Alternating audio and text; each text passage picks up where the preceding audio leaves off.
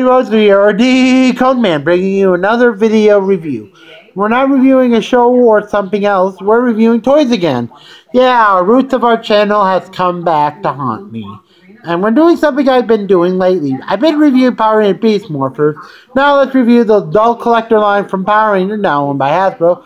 Power Ranger Lightning Collection, uh, SPD Shadow Ranger, or Doggie Cruger.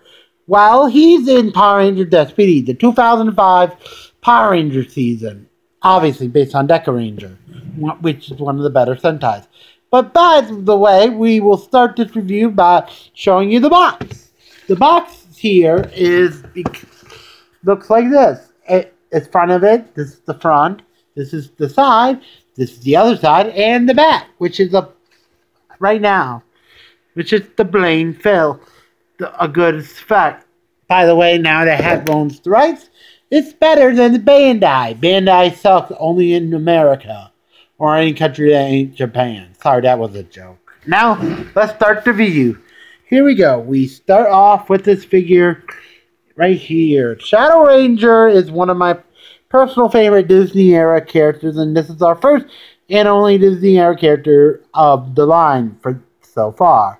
He comes with this sword, his saber, which I forget the name. And this is an alternate effect part, which is one of the best things about Marvel Legends that they've been doing effect part for some characters with like energy effects, but they're recycling one of the the female villain from Venom, like that from Daredevil villain that was in the Venom wave, with that effect part. I noticed good recycling. Recycle, good. Now the figure. This figure is awesome, but due to I'm doing my camera, I gotta carefully protect my camera. Here it is, and the figure's here. Head moves up and down, waist moves side to side, and swivel with the ass. Like it in the armor. Arms, good. Arms, one joint. Waist swivel, and thigh swivel and legs bend, two double jointed bends, one knee, and let's check it as ankle pivot. Good.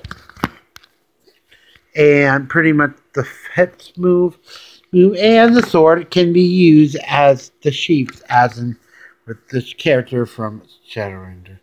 And well, and voila.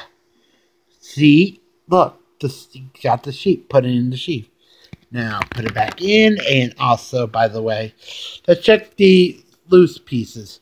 He comes with the SPD morpher for if you want to judge people with. See right there, with his hand it comes with, and he has additional hands like his trademark pose hand and closed fist that I accidentally dropped, and neck attachment for it to show you my favorite this figure and most of the rangers in this lightning collection can do. Oh, drum roll please. Do do do do. The head can be removed to form the Doggie Cruger head and there's a neck connect you should put in but that's only like longevity. This is now the Doggie Cruger head, which is awesome. And it comes with a neck piece if you want to connected for safety props. This is a good Ranger figure. And now for my personal favorite pose I want to do with this figure. It is the, hold on, da da da da, da da da da, finishing blow, well the finishing pose is this. Using its finishing attack while doing SPD license in his head, arms and teeth good. I'm sorry about the camera, but really it's not a big deal. I've been doing my phone lately for toy reviewing, and this was kind of a rush thing, but sorry about that. And everyone, thank you for my first review of Power Rangers Lightning Collection figure. Thank God now have owns right, so I might buy these again. Who knows? Only time will tell you like this, like, comment, or subscribe if you want to know if you want me to do some. I might do role play next time for our next video. I hope that or SPD episode 7, uh, Beast Morphers episode 7 and 8 because the finale, who knows. Only time will tell. This is Cody Rose or Decode Man, Decode Man saying bye-bye.